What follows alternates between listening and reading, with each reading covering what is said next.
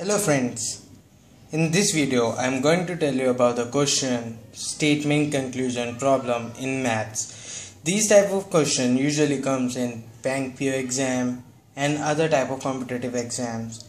You will get something around 4 to 5 question in this type of category. Let's discuss how to solve these type of question. In these question you always give a two statements. And there are five conclusion like x is greater than y x is greater than equal to y x is less than y x is less than equal to y. And the last one is x is equal to y or relationship cannot be established. And these type of equations is known as quadratic equation. For solving these type of question or getting a conclusion you must do one thing. Solve these two question these two equation and maintain a relation so that you will get a definite conclusion. In this type of question we always for we have to get only a definite conclusion. Let's take how to solve this type of question. Step 1 calculate the roots of equation a and b. These are two equations Roots can be calculated by two methods factorization method and determinant method. Let's discuss first method. This is our equation A. You can write it is in this form. Firstly, you have to do the find the product of A and C. In this A is 16 and in this C is 6 we calculate the product we get the value. Break the middle term that is b 20 so that the uh, break the middle term into two terms such that the product of those terms should be equal to 96 after breaking we get two values 12 and 8 write the equation in this form this is a factorization method. After writing into this form, take 4x common from the above equation and find the values. We will get two values of x like minus 2 by 4 and minus 3 by 4. Like this, solve equation B. Equation B is 10y square plus 38y plus 24 equals to 0 product of A and C we get 240 break 38 into two form like the product of both those terms should be equal to 240 we get 30 and 8 as our values. Write this equation in this form and we will get the values. We have another method for solving these type of questions. Determinant method which is our method 2 you have to do only one thing. Compare this equation calculate d which is determinant which is equals to b square minus 4ac here b is 20 a is 16 and c is 6 we get d 16 calculate the square root of d we get 4 after this the uh, roots of uh, the values of the roots are minus b plus under root square root b square minus 4ac whole divided by 2a and the second value is minus b minus the square root of b square minus 4ac which is equals to d. The whole value is divided by 2a after solving after substituting the value we will get these answer which is equals to these values the these values and these values are equal. Both methods can be used to calculate the roots of this equation. How to solve for b? We have these values substitute the values and we get these values. And after solving we get the roots for y. These are the corresponding values of y and these are the corresponding values of x.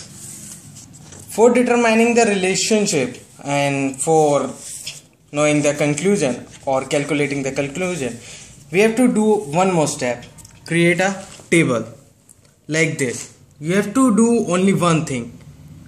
Write four x variables here and four x variables. Oh sorry. For y variables here substitute the values of individual x here. It's 2 by 4 minus 2 by 4 and it's minus 3 by 4 I convert it into a decimal form so that you can calculate it or maintain a relation in simpler manner. These are the corresponding values of y.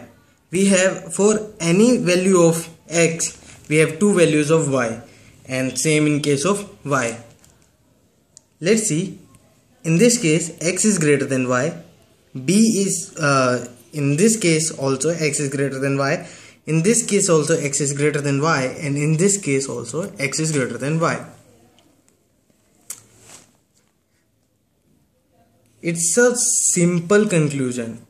We always get x greater than y. So the answer should be x greater than y. So our conclusion answer is x greater than y. In this case the answer is x greater than y.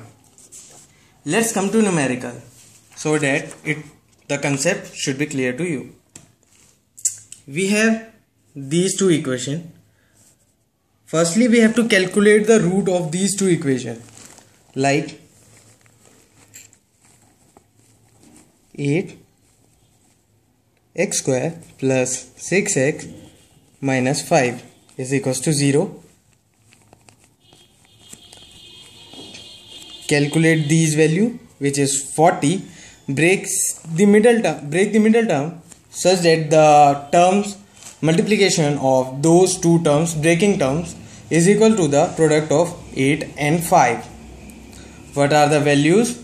Let's come to values.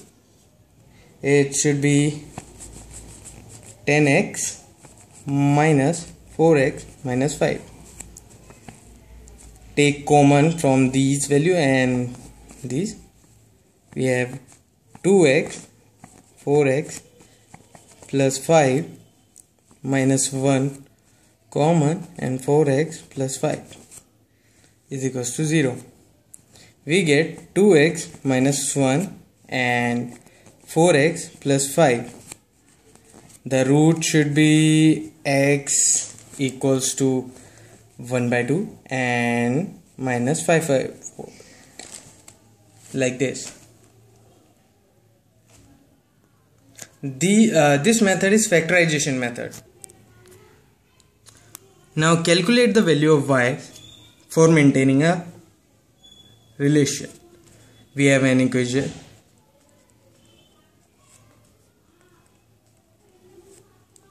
find the product of a and c which comes to be 96 and break the middle term into such that the uh, the multiplication of the middle terms breaking middle terms should be equal to the uh, product of 12 and 8 the values comes to be 12y square minus 16y minus 6y this take common 4y 3y minus 4 and like this. Like this.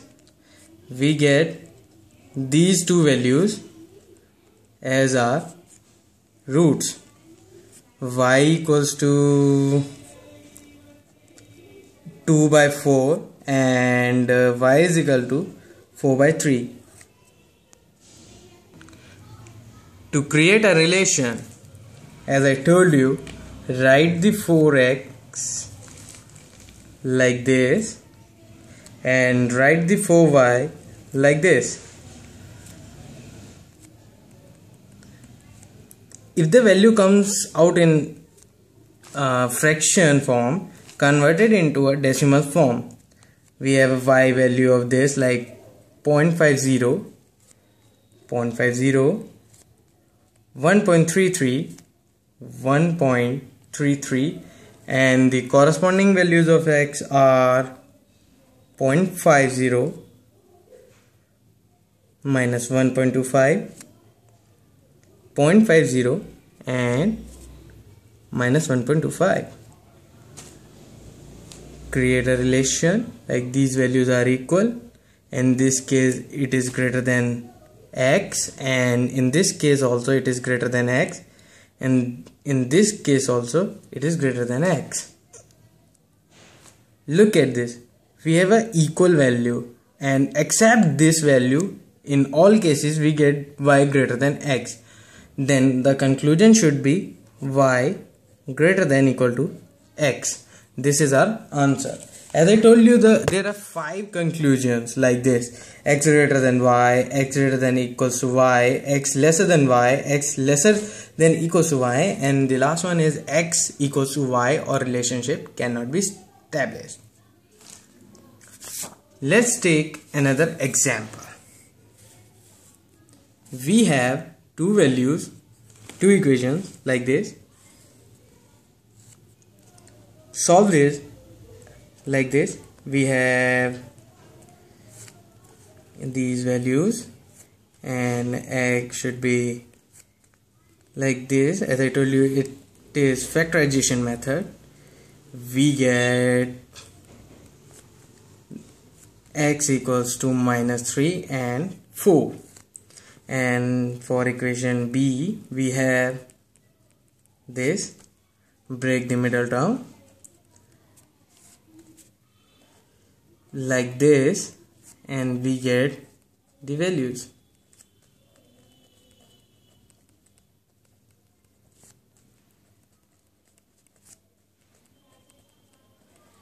We get y is equals to minus 2 and minus 3 to establish a relation as I told you write 4x in this form and for y in this form it will definitely help you to some extent. In this form the values is not in fraction form.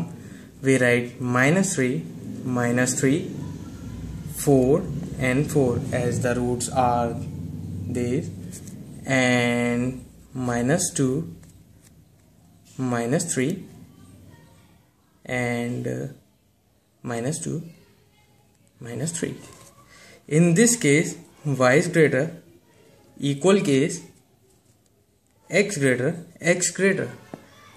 Remove the equal case accept this.